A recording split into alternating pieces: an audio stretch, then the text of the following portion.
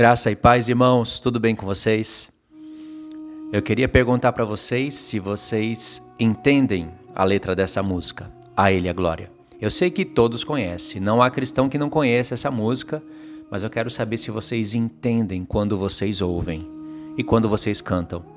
Essa música fez parte da minha vida cristã no início da minha conversão, onde eu ia para a casa de um pastor com um violãozinho, eu tocava essa música e as pessoas cantavam. Depois nós fomos para um templo e essa música nunca parou de ser tocada. A gente fazia várias versões dela, mas eu nunca tinha entendido o que eu cantava.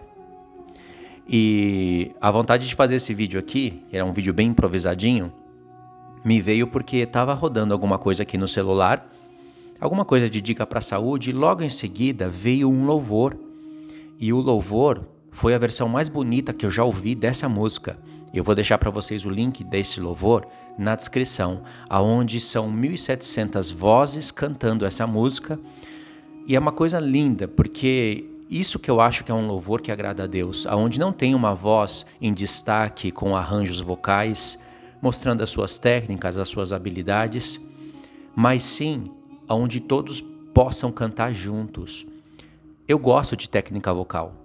Eu gosto de. Eu cantava na igreja, eu tocava, eu parei com tudo isso daí porque realmente o meu contexto, Deus me chamou para outra coisa. Embora eu acho que ainda sei tocar alguma coisinha, mas eu não posso ficar preso ao louvor. Eu tenho que ficar preso ao ensino. Foi para isso que Deus me chamou. E eu gosto então de técnica vocal. E eu sei que isso ajuda a expressar a música, os louvores, uma voz de destaque, né? os recursos de hoje, microfone e tudo mais. Só que esse louvor que eu ouvi, ele é profundo, porque são 1.700 vozes cantando, onde pessoas que talvez não saibam cantar. Mas o louvor era bonito. E aí houve ali uma conexão com os instrumentos, entra uma base de fundo, fica poderosa a música. E aí eu pensei, meu Deus, que coisa linda de ver. Imagine se você estivesse ali. Quando você estiver ouvindo a música, você vai se lembrar do que eu estou falando. Quando acabar esse vídeo, você vai lá e escuta a música. Agora, eu pensei comigo, uma glória é você estar cantando aquela música e adorando a Deus. Outra glória é você, e sem entendimento, né? Não entendendo completamente o que você está cantando, porque parcialmente você pode estar entendendo. Você sabe que Jesus é o Filho de Deus, que ele foi enviado para a salvação do mundo, e você está louvando a ele, e você espera que ele volte para um, estabelecer um reino na terra de justiça, de paz e de alegria. Essa é uma glória. Mas uma outra glória é você entender com profundidade o que você está cantando. E aliás, a música fala disso.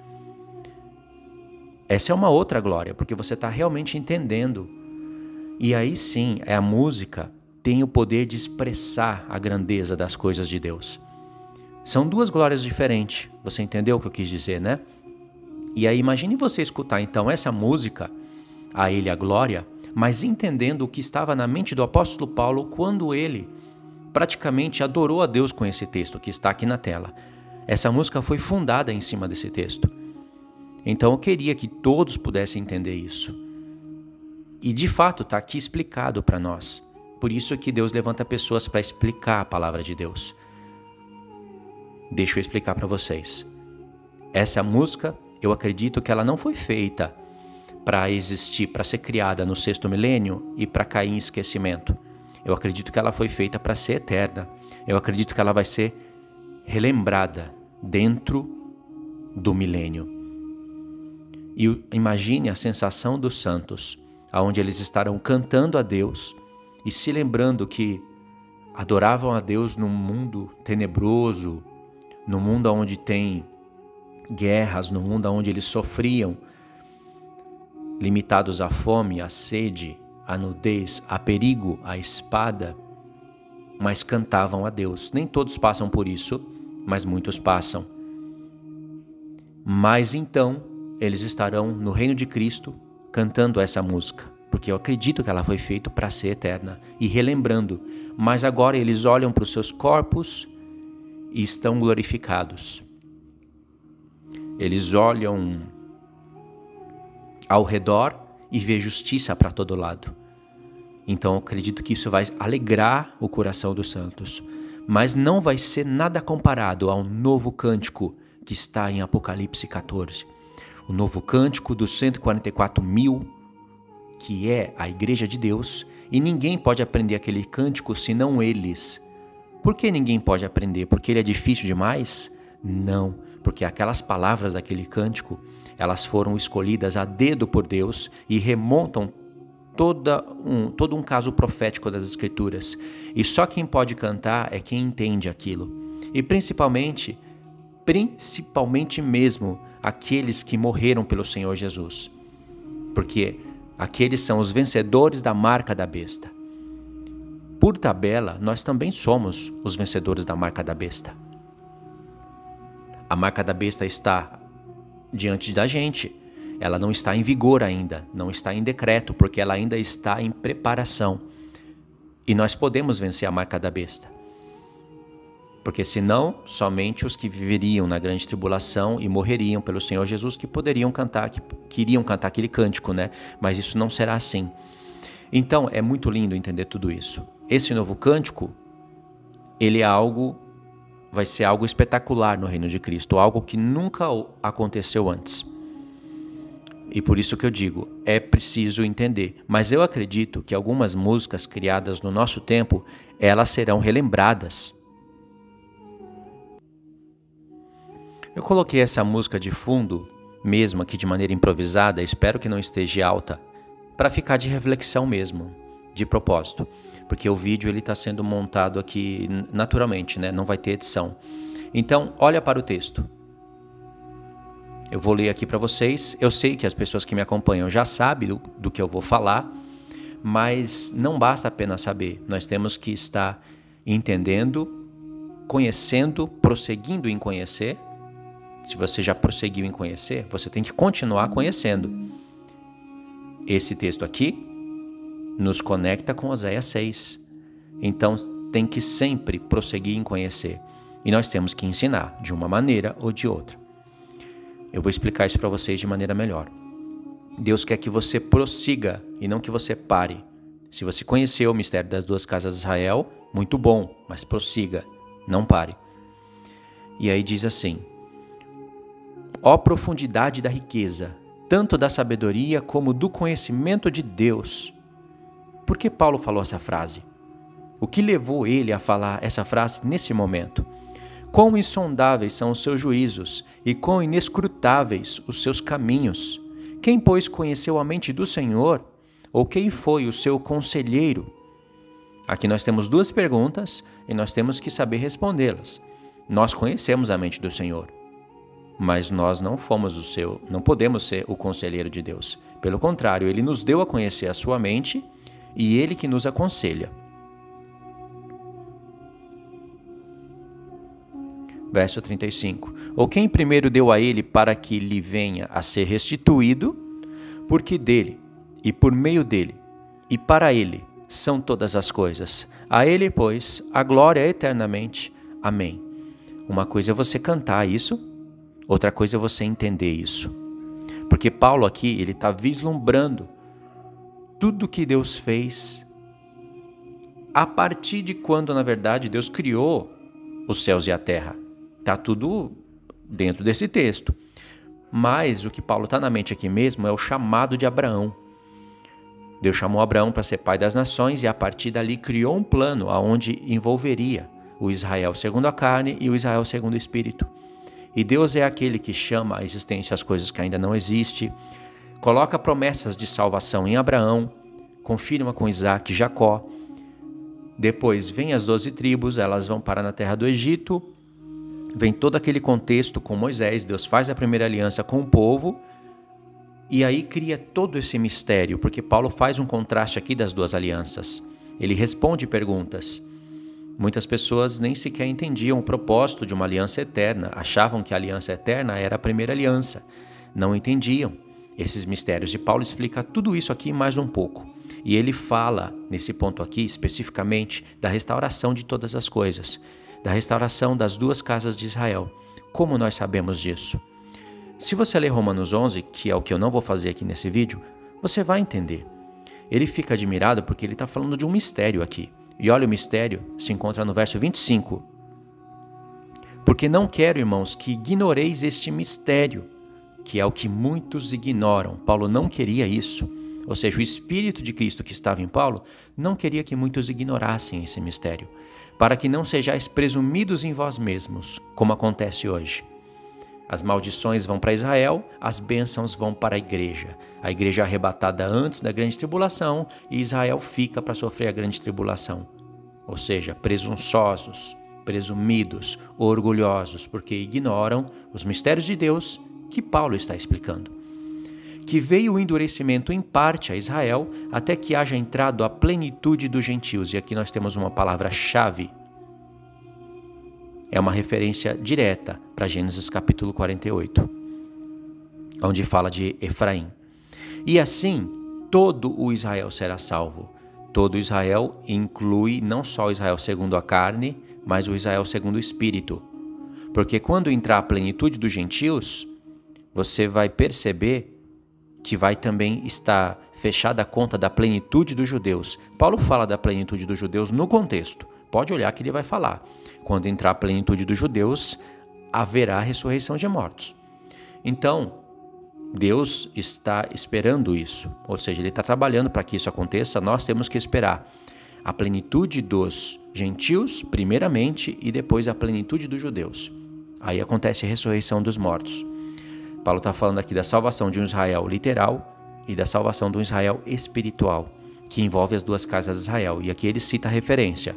Como está escrito: Virá de Sião o libertador, e a ele apartará de Jacó, e ele apartará de Jacó as impiedades. Esta é minha aliança com eles, quando eu tirar os seus pecados. É o dia da expiação. Porque Deus tem um tratado sim com Israel. A terra de Israel, em massa, tem que conhecer o Senhor Jesus. E eles passarão por grande tribulação também. Zacarias explica bem isso para gente. Quanto ao Evangelho, são eles inimigos por vossa causa, por causa dos ciúmes, né? Quanto, porém, à eleição, amados por causa dos patriarcas. Porque os dons e a vocação de Deus são irrevogáveis, ou seja, Deus não pode deixar de fazer existir um Israel literal, porque senão Deus estaria anulando os seus dons e a sua vocação. Promessas que estão nos profetas que estavam na mente de Paulo e por questão de resumo aqui ele não citou. Presta atenção no mistério aqui das duas casas. Porque assim como vós também outrora fostes desobedientes a Deus, mas agora alcançaste misericórdia à vista da desobediência deles, assim também estes agora foram desobedientes, para que igualmente eles alcancem misericórdia à vista da que vos foi concedida, porque Deus a todos encerrou na desobediência, a fim de usar de misericórdia para com todos. Aqui Paulo está falando de um plano que Deus desenvolveu com as doze tribos, quando por causa do pecado do rei Salomão ele dividiu as doze tribos em duas casas, uma ele chamou casa de Israel e outra ele chamou casa de Judá. E Paulo está falando isso daqui baseado no, nas promessas que Deus fez para a casa de Israel, que por causa do trabalho e das promessas de Deus haveriam de se tornar os gentios, ou seja, a igreja, que tem que se unir com os judeus de fato que nós entramos para o plano das doze tribos de Israel por intermédio das promessas feitas às duas casas de Israel. Por isso que Paulo fala, porque assim como vós também outrora fostes desobedientes a Deus, para você ser desobediente, você tem que ter recebido leis. É claro que Paulo não está falando aqui diretamente para uma pessoa, para pessoas individuais. Ele está falando aqui, lembrando num plano, Pode ver que ele fala também que judeus que foram cortados, é, se eles não permanecerem na incredulidade, serão enxertados. Mas os que foram cortados, foram cortados, morreram em seus pecados. Os que serão enxertados são os do futuro que não permanecerem na incredulidade de seus pais. Então é nesse propósito aqui, dentro desse plano, que Paulo está falando essas palavras. E aí, como Paulo vislumbrou tudo, e sabe que Deus há de restaurar as duas casas de Israel, formando de novo as doze tribos, mas agora o Israel segundo o Espírito, ele fala isso daqui, ó profundidade da riqueza, tanto da sabedoria como do conhecimento de Deus. Quão insondáveis são os seus juízos, e aqui foi fundado esse louvor. Para vocês entenderem que eu não estou viajando, eu sei que muitas pessoas que não conhecem o mistério das duas casas de Israel podem pensar isso. Aqui tem uma prova incontestável em Romanos 9. Outra prova, né? Porque o assunto que Paulo está concluindo em Romanos 11, ele começou em Romanos 9. A partir do verso 24.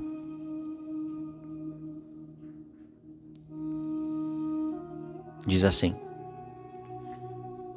a partir do verso 22. Que diremos, pois? Se Deus, querendo mostrar a sua ira e dar a conhecer o seu poder, suportou com muita longanimidade os vasos de ira, preparados para a perdição, a fim de que também desse a conhecer as riquezas da sua glória. Presta atenção aqui, ó, riquezas da sua glória. É o chamamento do povo. Em vasos de misericórdia. Tá vendo essa palavra misericórdia? É a palavra lohuamá, que está em Oséias. Aqui, dentro desse texto, vão aparecer os três filhos de Oséias. Vasos de misericórdia, que para a glória preparou de antemão, os quais somos nós, presta atenção a partir de agora, a quem também chamou não só dentre os judeus, mas também dentre os gentios. Qual é a prova que Deus chamou vasos de glória também dentre os gentios? O que que Paulo tem na mente? Ele vai citar um profeta que prova isso. Assim como também diz em Oséias: Chamarei povo meu ao que não era povo. Aqui, ó, a palavra povo é que está no grego, né? Não dá para trabalhar aqui. Aqui vai ter a palavra povo, o que não era povo, amada, a que não era amada, e pessoas que não tinham misericórdia alcançando misericórdia. Os três filhos de Oséias. E por isso Paulo está citando Oséias.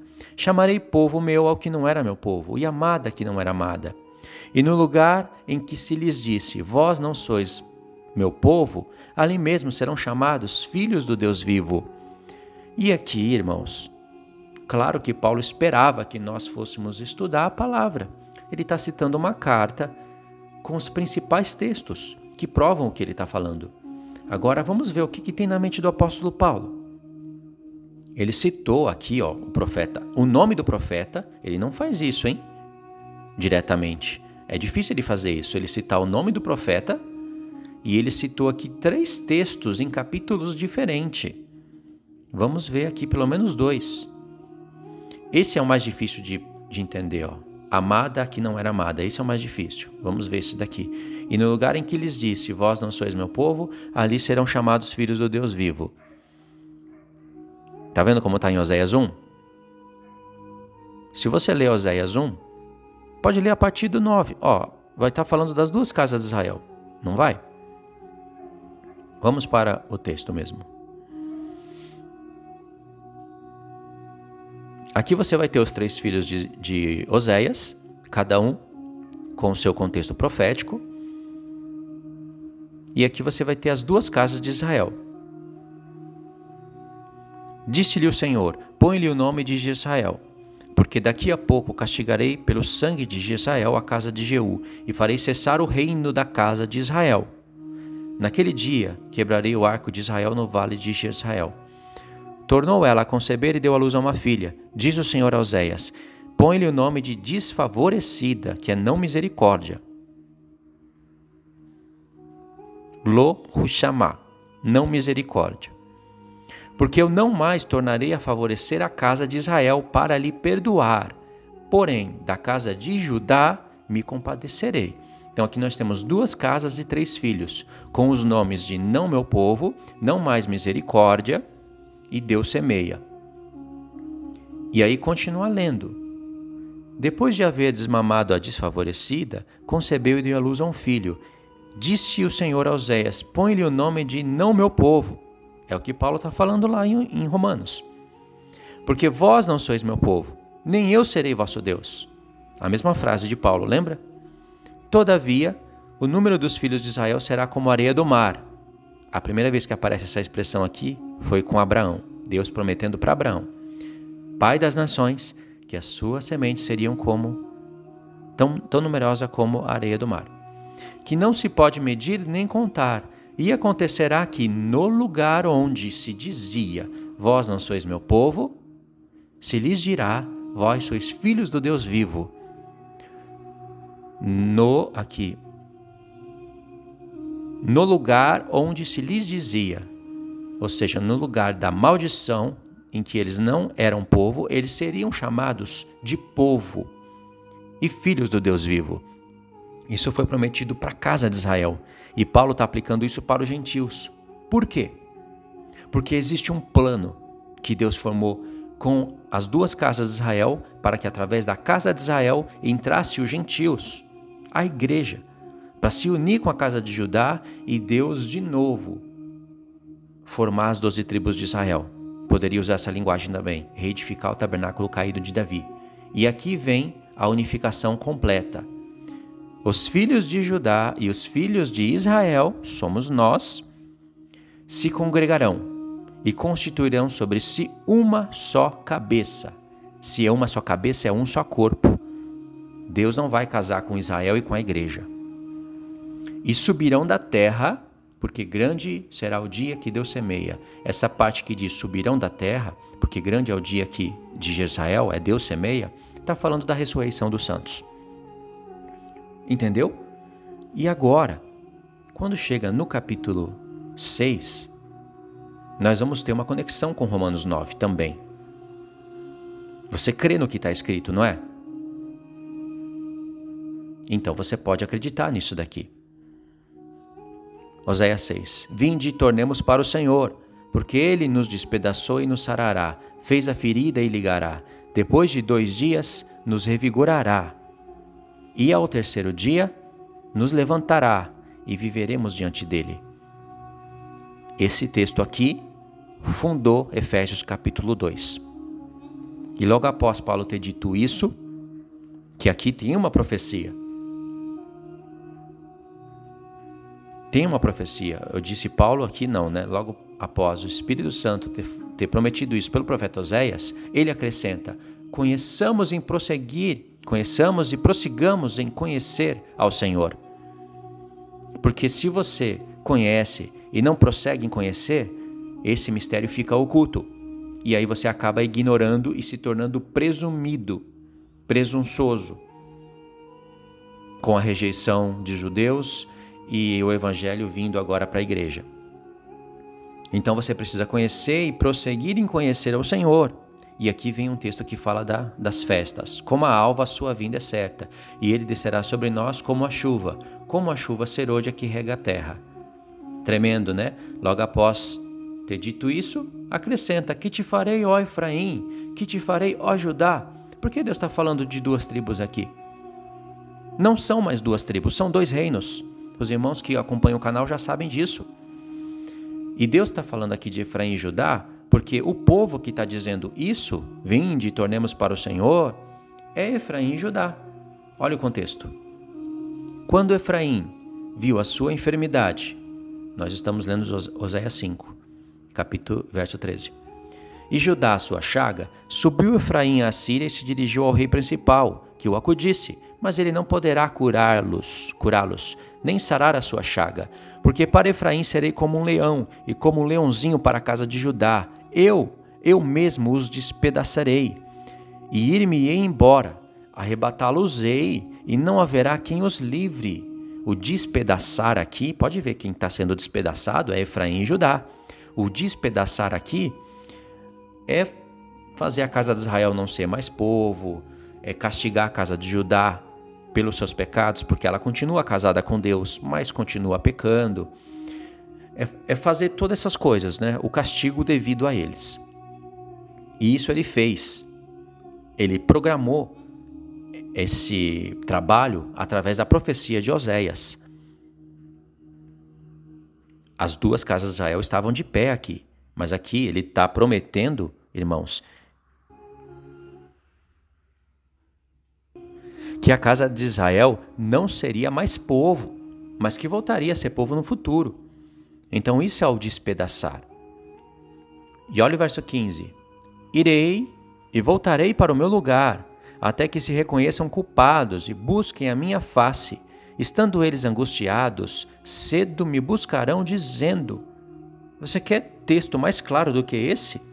Irei e voltarei para o meu lugar. Quem é que está falando isso?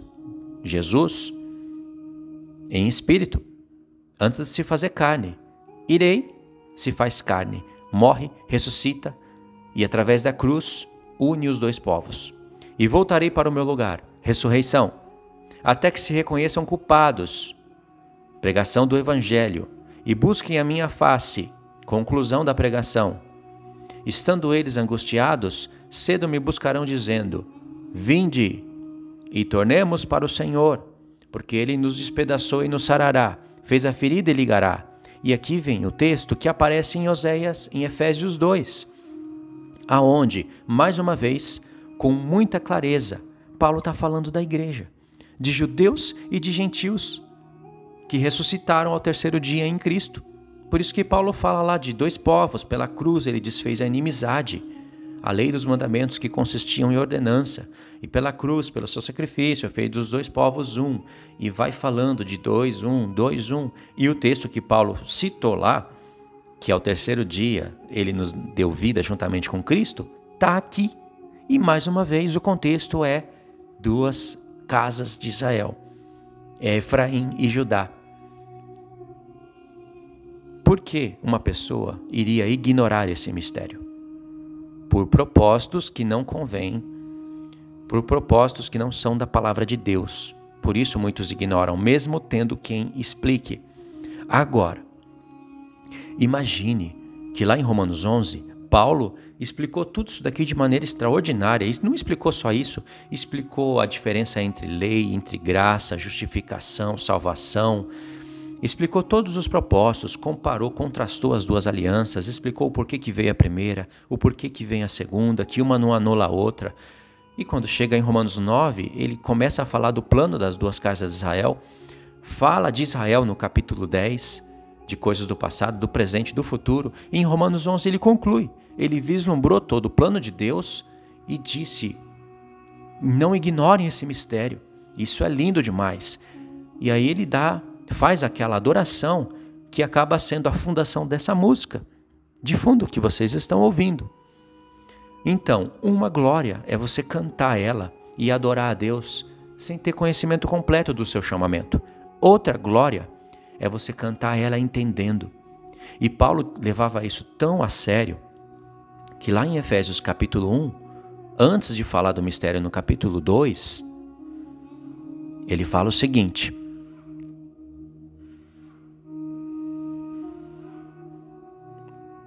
Eu acho que está aqui.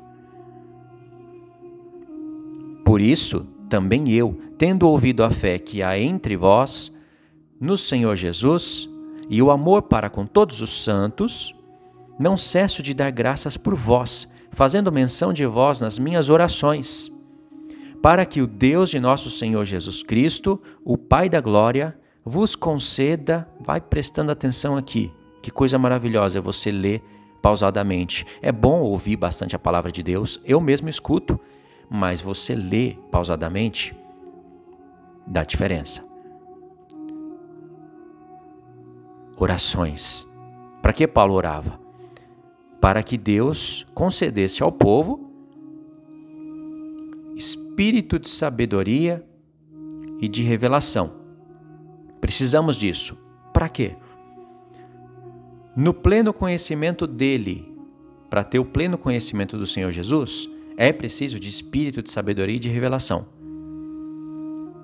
E aí você tendo, ó, iluminado os olhos do vosso coração, para saberdes qual é a esperança do seu chamamento, qual a riqueza da sua glória, da sua herança nos santos. Lembra aqui da palavra riqueza da glória? É o que Paulo fala, vasos de glória, lá em Romanos 9. E qual a suprema grandeza do seu poder para com os que cremos, segundo a eficácia da sua força e do seu poder. Então, essa era a oração, as orações de Paulo, para que Deus desse para o povo espírito, espírito de, de sabedoria e de revelação, para que eles tivessem no pleno conhecimento de Deus é pleno, não é parcial. Paulo fala disso em Colossenses, ele fala mais uma vez disso em Efésios 4, e Pedro fala: graça e paz vos sejam multiplicadas no pleno conhecimento de Jesus Cristo. Você pode ter graça e paz hoje, você pode ter. Mas se você quer elas multiplicadas na sua vida, busque o pleno conhecimento de Jesus, conhecimento completo. E você não pode ter conhecimento completo do Senhor Jesus se não entender todas essas coisas que eu estou falando. E quando você tem os olhos do seu coração iluminados e tem espírito de sabedoria e de revelação, e você tem o pleno conhecimento de Jesus, e você ensina, você multiplica graça e paz em todos os irmãos. Você ilumina os olhos do coração dos seus irmãos e faz eles entenderem a grandeza do chamamento deles. Não é lindo isso? É Jesus que faz tudo isso mas ele concedeu o evangelho para gente. Abençoar as famílias da terra é ele que faz, mas ele faz através do seu corpo. Agora os seus olhos estão sendo iluminados. Eu estou multiplicando na sua vida graça e paz. Como Pedro disse. Você está recebendo uma porção a mais de espírito de sabedoria e de revelação. E você está entendendo a grandeza do seu chamamento. Se você não estiver entendendo, não tem problema que também eu não estou explicando todas as coisas. Eu estou fazendo você ficar interessado pelo assunto. Se você já me acompanha no canal, você está relembrando, revisando, isso é muito bom. E aí, chegando no capítulo 2, ele explica o mistério. Ele explica, ele prepara o povo para eles entenderem o que ele falou no capítulo 2.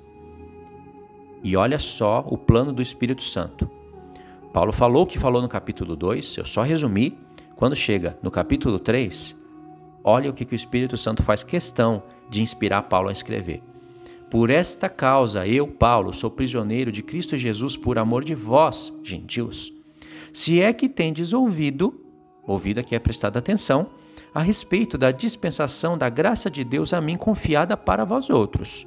Pois, segundo uma revelação, me foi dado a conhecer o mistério, conforme conforme escrevi há pouco resumidamente. Então Paulo fala: se vocês entenderam o que eu escrevi atrás, tudo bem, vocês podem entender, porque ele está falando aqui, em outras palavras, vocês podem entender, ainda que eu tenha escrito de maneira resumida, porque nós temos os profetas. Então, se é que nós entendemos, então, muito bom, tudo que ele vai falar aqui vai ser entendível. Entendeu? Isso fica para a gente aqui. E ainda poderia continuar esse raciocínio em Efésios capítulo 4, 5 e 6, de maneira maravilhosa, com conexões tremendas.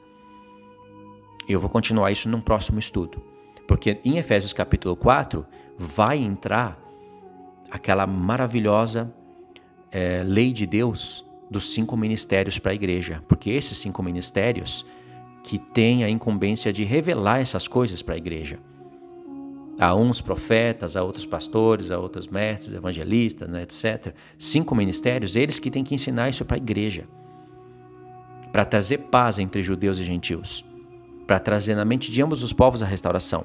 E em Efésios capítulo 5, ele vai falar que você é luz.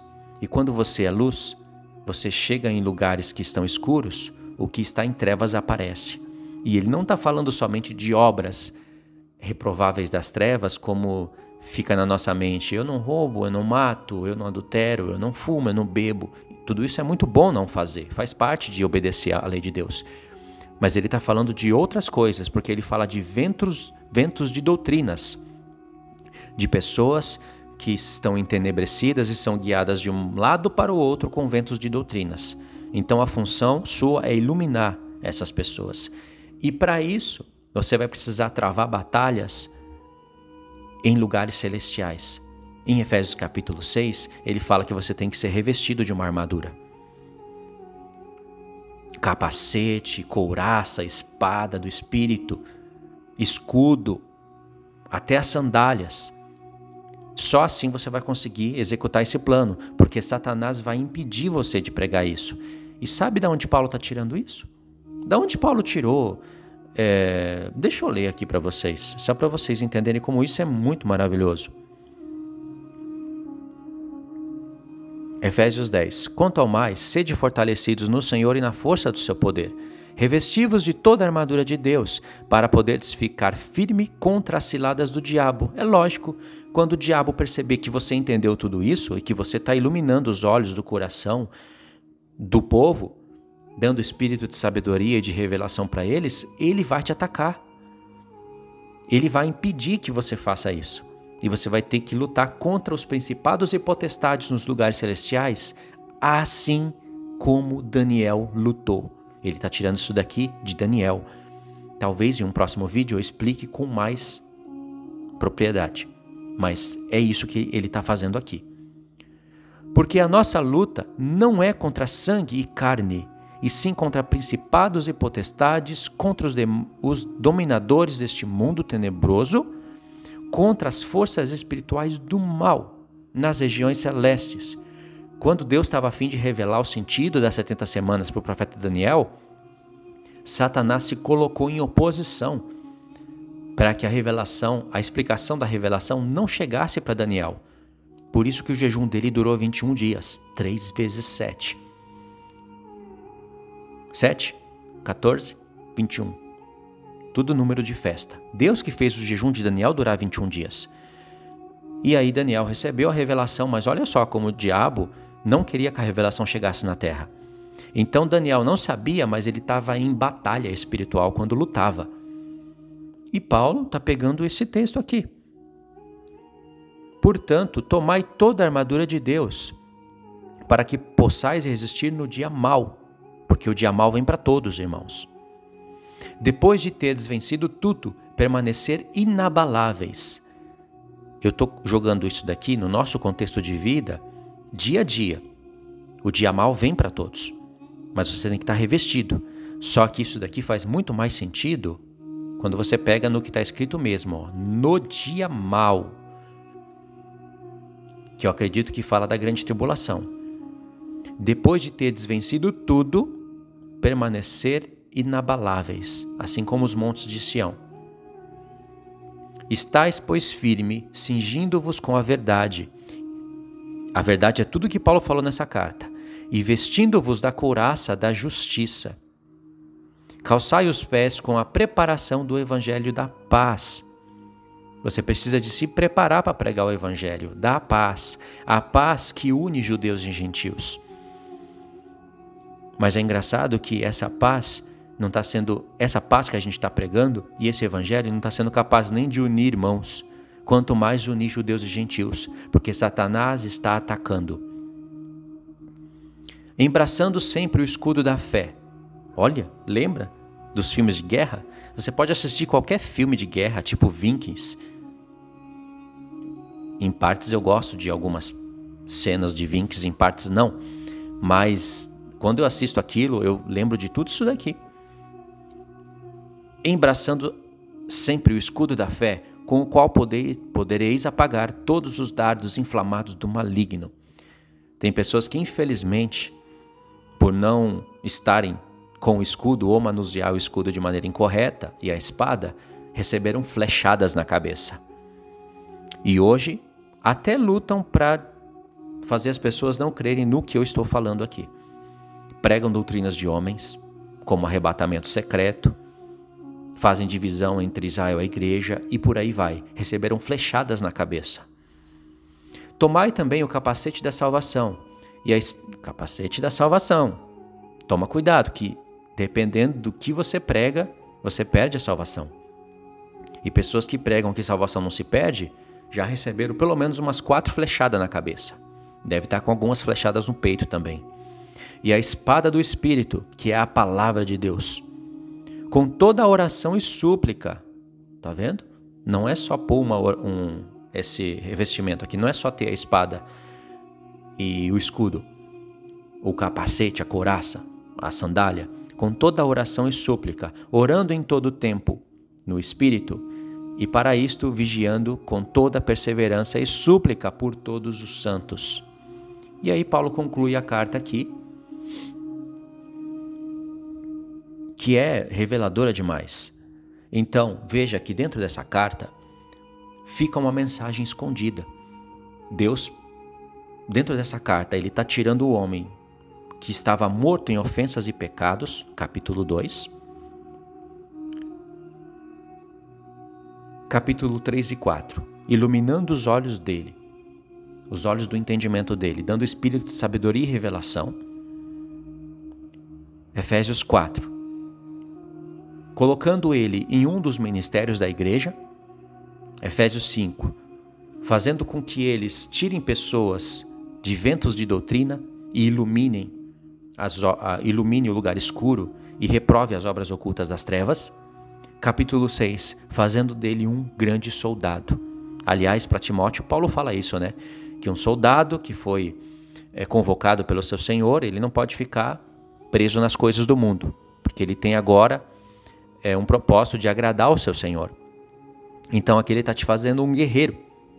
E se você está sendo feito um guerreiro é porque haverá uma batalha. E essa batalha está lá no livro do Apocalipse a batalha das duas testemunhas, que é onde virá o dia mal. Tá certo, irmãos? Agora, você pode ir lá escutar aquela música que eu vou deixar para vocês na descrição.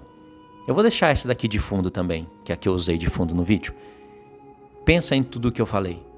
Aí você vai entender aquelas duas glórias que eu falei no início do vídeo e no meio do vídeo.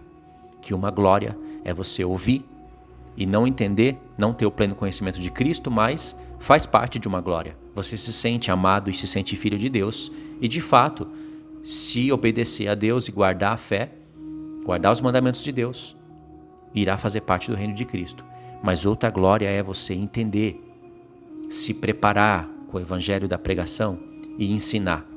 É outra glória. E quando você escuta uma música como aquela, o que passa na sua cabeça é diferente, as suas emoções são aumentadas. E é bom a gente ter emoção. Mas a emoção vai ser equilibrada pela razão, porque é tudo contextualizado pela Bíblia. E isso te traz força. E isso te consegue te desligar por vários momentos das várias seduções desse mundo. Tá bom? Então eu queria que vocês comentassem. Esse vídeo ele foi simples assim mesmo, mas é um vídeo bom para ouvir, para meditar e para refletir e para aprender, tá? Espero que eu tenha ajudado vocês através desse estudo. E se você quer conhecer o mistério das duas casas de Israel, você vai no meu canal, aí no YouTube. Você coloca canal Reino Eterno e aí coloca as palavras do tema que você quer aprender, milênio as duas casas de Israel. Casa de Judá, casa de Israel, ou Efraim e Judá, usa a cabeça. Através dessa pesquisa você consegue saber o que eu tenho no canal e o que eu não tenho. E você pode acompanhar algumas playlists também. Tá bom? Então é isso. Fiquem todos na paz. Deus abençoe.